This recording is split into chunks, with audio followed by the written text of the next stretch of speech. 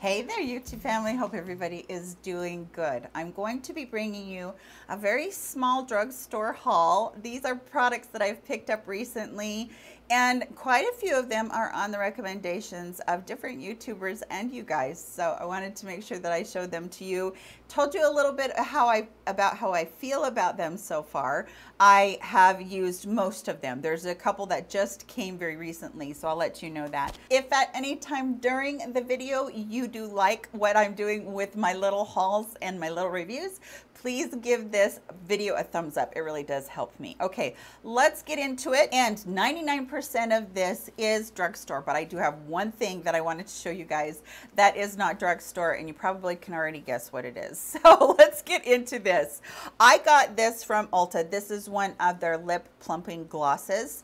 I do think that this formula is very nice as far as its plumping properties. It's a really soft plumping. So, you know, like Buxom's has that menthol in it that is really cooling and really, you know, kind of over the top sometimes. But this one from Ulta, it really does have a very, um, very soft approach to plumping your lips. It's not something that is over the top like that, but as I've been using this one, it really does have a lot of grit in it. And I, I can't do grit, you guys. I just can't do it.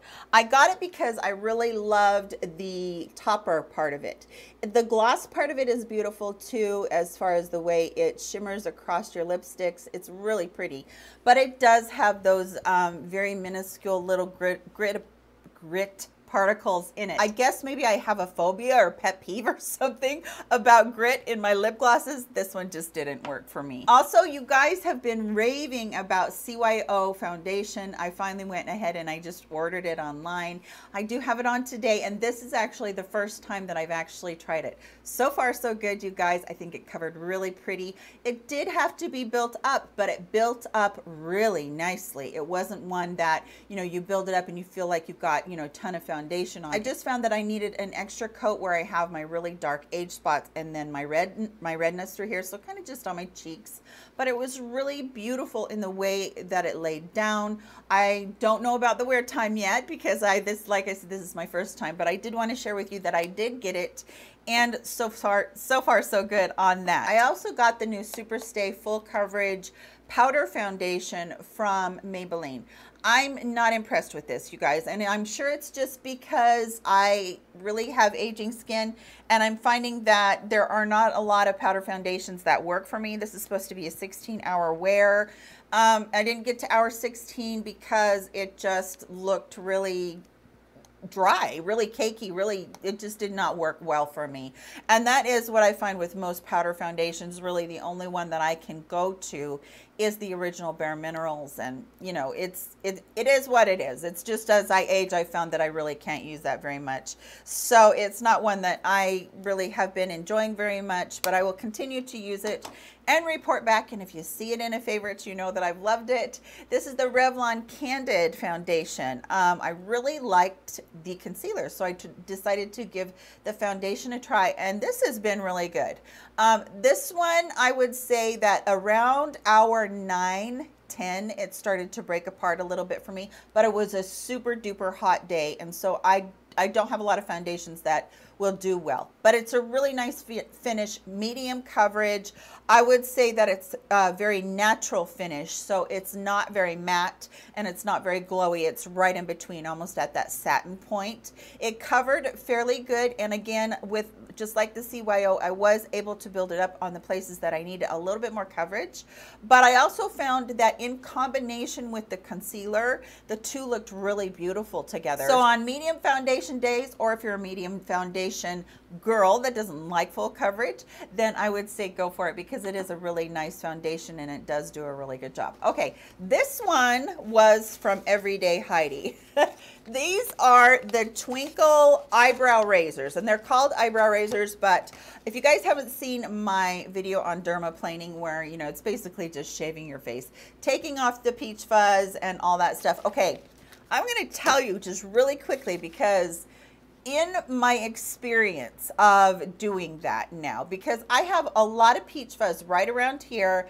I don't really have a mustache, but I do have a little bit of, of peach fuzz up there And then I do have some hairs that I pluck right here. I mean, come on, let's get real. We all pluck a few hairs on our face. But what I find is that the hairs that you pluck that you know are the stiffer ones, they are going to come back and they're going to feel a little bit stiffer because you've actually blunted the edge off when you did the razor. So, you know, when they come back in, they come back in from being plucked. And so they're growing that fine little tip out.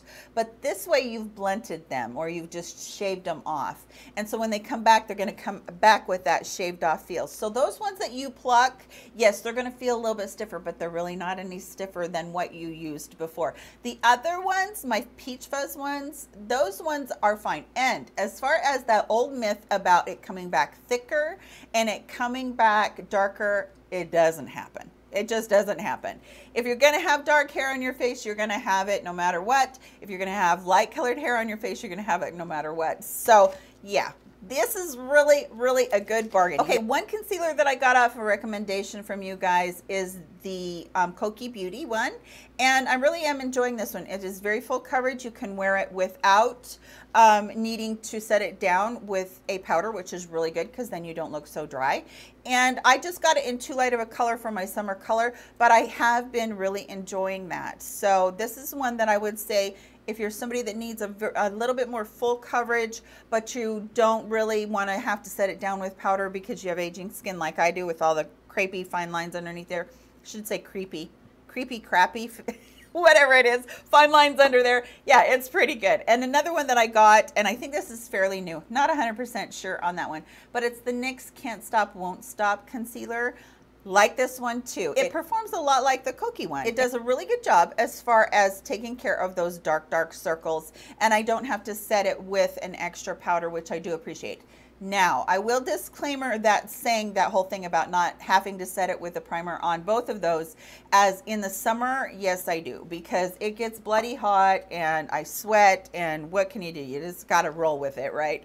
Another thing that I tried and this one is not one that I am in love with or that I even like a little bit. This is Maybelline Lash Discovery. This is the mini brush system that they have and I got it in the waterproof because I knew I was going to want to use it on my bottom lash line and I was also going to want to use it for those little tiny lashes that you get in the corner on the top lashes that you can't really get with a regular mascara or you poke your nose and I just didn't like this because I feel like I don't get enough product on that wand.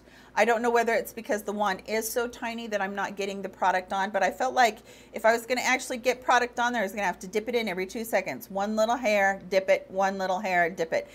And it just didn't really build like I wanted it to. So that's actually one that I would not really recommend for you guys, but you know, just a personal preference again. All right, we're down to the last two. Just barely got this in the mail yesterday or the day before, I can't remember. This is one of the new Milani palettes that um, they just barely released last week. They were so fast in getting it to me. Hyper pigmented eyeshadow palette. Um, it says Fierce Foils, Silky Mattes, and Standout Shimmers, Undeniably Gilded. I assume that's the name of it. So nice mirror in there, and then you have all of the colors over here.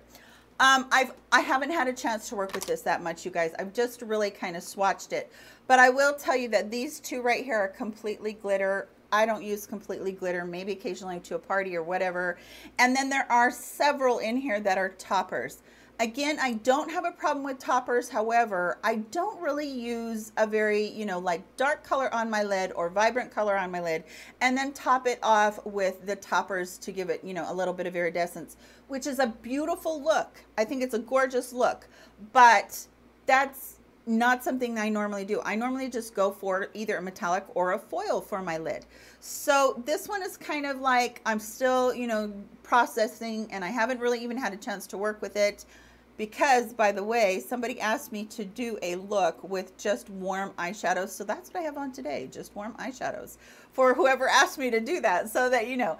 Okay, so I haven't had a chance to work with it, but I'm going to, and I wanted to show it to you. There's another one. I should have gotten the other one too, but I didn't. And here is the product that is high end. When I saw this come out, I was so excited, you guys. My all-time favorite ever is the Berries and Cream palette that she did. Oh my gosh, the colors in there are so pretty and they're so saturated. But this one is along the, the same lines of it. It's the same size. So it has 12 shadows in it. The shadows are all extremely pigmented, you guys. And if you haven't had a chance to see Christen Dominique do her little spiel where she uses this, she uses every color in here. She sets down her under eyes with this color right here.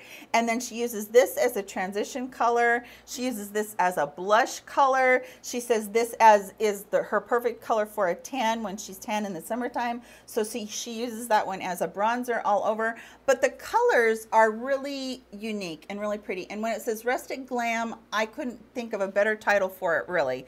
This color right here is such a pretty like olive gold color color. And then this one over here is like a midnight blue with some light blue reflex in it. And then you have a really pretty like plummy purple right here.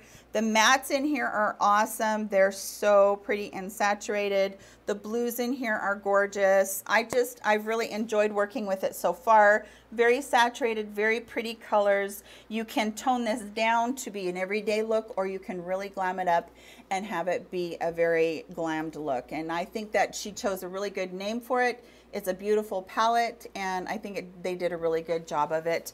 I probably will be bringing you guys a look on this if you want to see it. But I do love the blues in here and the only colors that don't really excite me too much are the warm like orangey colors like this one right here. So the palette is gorgeous. I think that, you know, if you're going to splurge try one of her palettes. She really does a really good job on her formula. And if any of them really catch your eye as far as what they've done with the palette and the colors, then you can't go wrong as long as you really like the colors and you know that you'll and you know that you'll use them.